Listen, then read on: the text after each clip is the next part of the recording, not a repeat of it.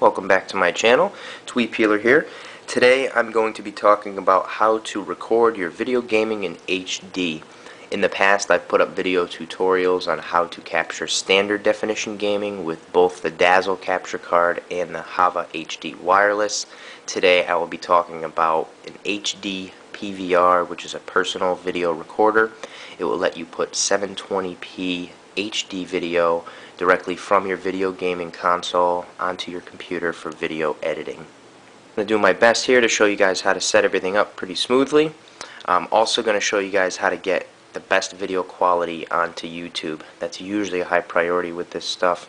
Uh, I can get pretty good quality onto YouTube. It's just YouTube has crappy codecs, so you can only do so much. Uh, one thing I ask of you guys, just please watch the whole video before you have any questions or comment. Uh, I'm going to do a pretty good explanation here, and I'm probably going to get 15 messages from newbie69 asking something brilliant like, does it plug into the wall? How do you set it up? Dude, just watch the whole video and you'll get it. The personal video recorder that I use is from Hauppauge. I'm not 100% sure how to pronounce it, but I'm assuming it's Hauppauge. I guess you could say Hauppauge, or if you're pretty sporty, Hauppauge. Um, HD PVR records 720p high definition TV or video gaming to your PC. Uses the component wires so you get true 720p HD video.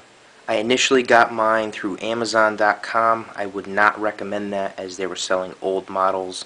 Um, it did not work for me. I had to return it through Hauppauge Company, which is located in New York, USA. Uh, they were kind enough to ship me a brand new updated model at no extra charge. Uh, but to not have to go through the hassle, I would say forget getting it through Amazon or any other cheap site. Uh, make sure you get it directly through these guys. Uh, they have the most recent updated models. The device comes with everything you see in this video. The box is in the upper left corner. The Hauppauge unit is actually right smack in the middle here. Uh, it's a pretty cool looking device. It doesn't look too bad under the TV or under your consoles. Um, it's got a little power button right here just to turn it on and off. The back has got your outs and your ins for both audio and component. So you got your three video uh, component inputs here, two audio inputs here, and then your out for audio up top, three component video outs. It's also got optical in and optical out in case you want to record 5.1 surround sound. That's for you guys with uh, good systems. It's also got a blaster cable insert which lets you use a remote and USB out and power plug out. As for everything it comes with, you've got your IR blaster cable. That's so you can use the remote with it. I took the CD out of the package, but it comes with an install CD. I highly recommend getting the update from Hauppauge as soon as you get this thing. Um, I installed from the disk, and right away I was told to update, so I would go right to their website and just use their install EXE versus the CD. Obviously it comes with a power cable so you can plug the thing in and turn it on. It's got a USB 2.0 uh, FireWire so that you can get the HD video onto your computer smoothly. Uh, and it's got the component wire. Comes with a pretty decent one. It's a pretty good length. Um, the only thing you'll need on top of that is the component cables from either your PS3 or your Xbox 360. I use the 360 so my component wires are laying over there.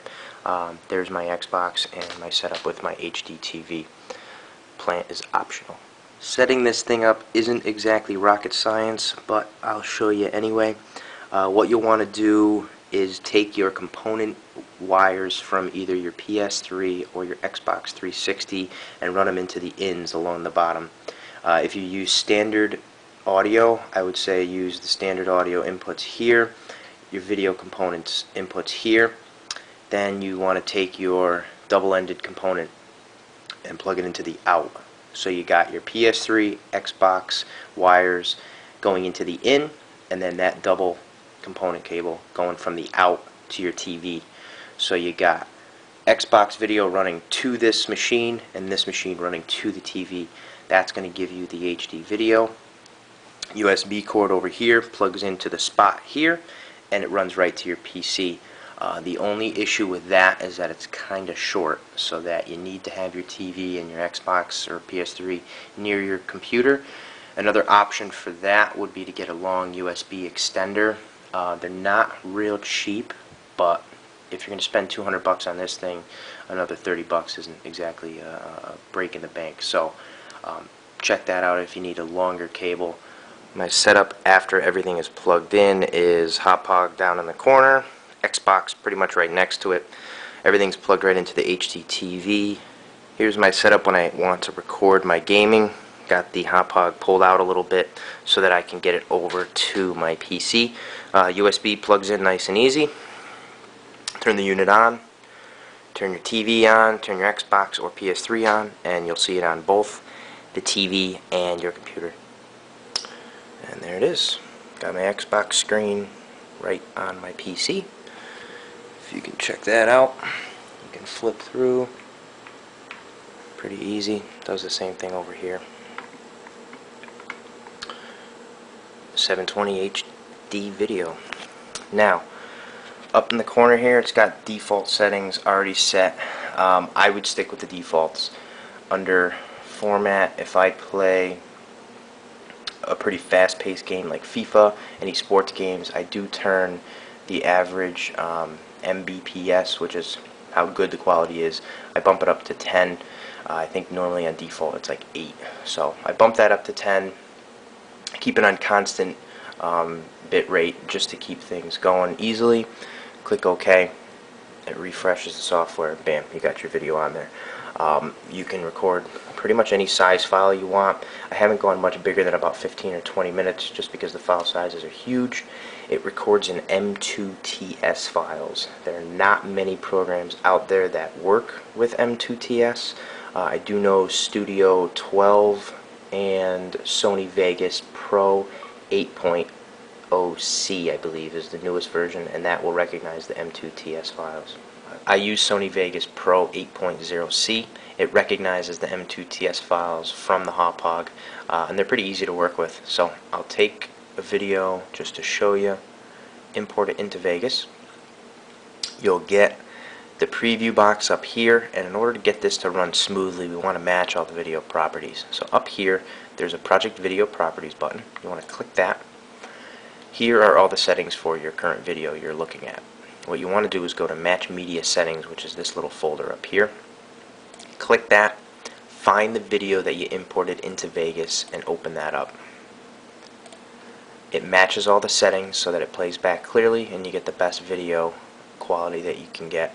Click Apply, click OK, and you're ready to edit. Once you've edited your video and you want to render, go up to File, Render As, I still believe that WMV gives you the best quality, but that's only for playback on your computer. Uh, if you want to have good quality on YouTube, I would suggest using MP4. That's what I use to render all my videos for YouTube. Uh, it's a, called the Main Concept AVC slash AAC. It's under the .mp4 in the drop-down box. Click that. Go to Custom. Obviously, you want your video rendering quality to be best, so I would drop that down. Click Best go to the video tab. Under here, there's an automatic setting for 320 by 240, 640 by 480. Go to custom frame size. I already changed this because HD video is 1280 by 720, so you want to put 1280 in the width box, 720 in the height box. Under profile, I leave it at main.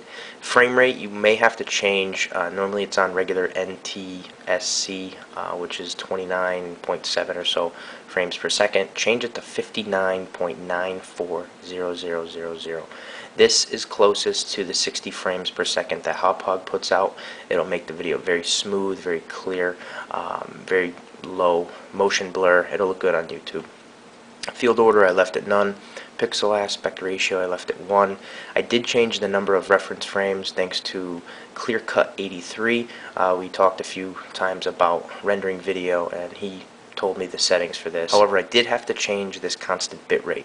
I told you guys before that I changed the default Hauppauge settings from 8 Mbps to 10 Mbps. You want to match this. So if you recorded on 8, make sure you put 8 in this. I recorded on 10, so I changed this to 10. When you're done changing that and matching the setting, click OK. Name your file whatever you want to name it. click Save. You can email me questions. They go right to my BlackBerry, so I can respond pretty fast. I'll be waiting, newbie69.